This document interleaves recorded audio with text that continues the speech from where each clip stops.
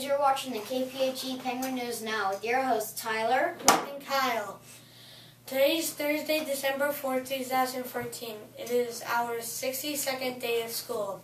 This means we have 118 days left in our school year after today. One math problem for today would be 180 minus 118 equals 62 days that we've been in school this year. Is 62 an odd or even number? Think about how you could prove your answer. Our lunch choices for today include chicken corn chowder, chicken sandwich, turkey and cheese sandwich, or just salad. Our announcements for today are Milltown has taken over our gym this week, and there are only two days left to write letters and get them delivered to your friends and teachers. The Prune Hill Choirs will be performing tomorrow evening at downtown campus at the tree lighting ceremony at 6.45. Bring your family down and enjoy the festivities. Miss Ray will be here today, but will be gone tomorrow. Choir rehearsal is coming up on Monday at 8 o'clock. Tomorrow will be the last day to bring food in for Stuff the Bus. If you haven't already, please consider bringing food to help feed hungry people in our community. It's time to turn things over to Miss Burton for our Lost and Found check and see what she found for this week. Good morning, everybody. Here's what we have up in the Lost and Found. Take a quick look and see if you see anything that belongs to you.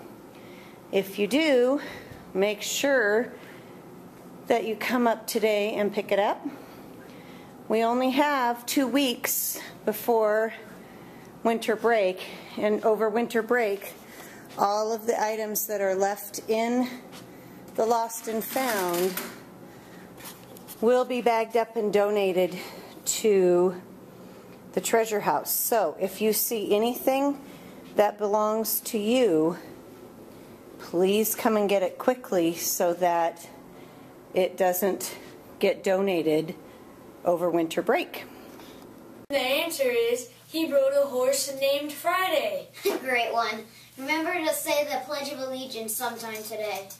Make sure that you show your penguin pride today by being safe, respectful, and responsible. This is Kyle and Tyler saying goodbye from the Penguin News Studio. Happy The